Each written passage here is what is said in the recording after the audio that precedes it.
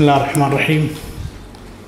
مساكم الله بالخير جميع آه، عاجز أن أشكر الحضور وأشكركم على هذه المبادرة وعلى هذه الالتفاتة وعلى هذا الدعم والزخم اللي حضر في تأبين ابنكم وأخوكم الشهيد حسام الحداد.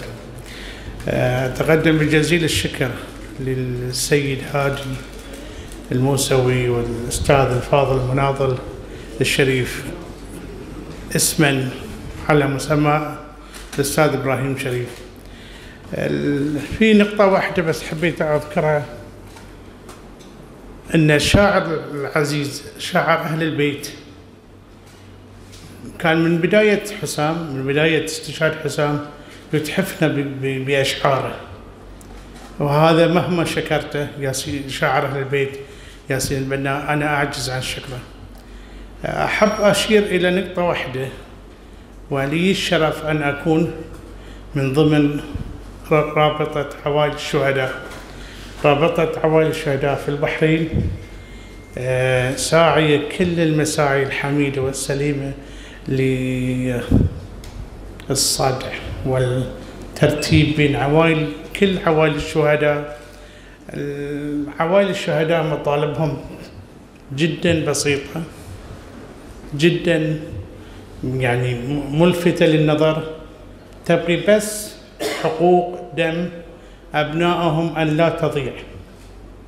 تبغي دم هذا الولد دم أي بنت أو أم أو أخ أو أب سقط في هذا الحراك أو في هذه الثورة المباركة أن تسجل وإن شاء الله ستذكر كما كما الشهداء السابقين سيذكرون على مر الأجيال القادمة أن في في المحرق أو في في أي منطقة في البحرين سقط هذا الشهيد الشهيد الفلاني الشهيد فلان بن فلان. وكل شعب البحرين كل أطيافه وكل توجهاته مثل ما رأيت أنا شخصيا حتى في تشييع حسام. كان لي شرف وإن كنت أب فاقد ابني في ذاك الوقت لكن كان لي شرف أن أنا التفت يميني ما أشوف الطائفية فيها هذا أي مذهب وأي دين وأي بالعكس كل الاتجاهات كانوا موجودين. كما كما كانوا كل الاتجاهات في كل تشييع أنا حضرته. التشييع اللي بعد أربعين يوم من الشهيد ولدي حسام كان للشهيد علي نعمة. رأيت هذا الشيء.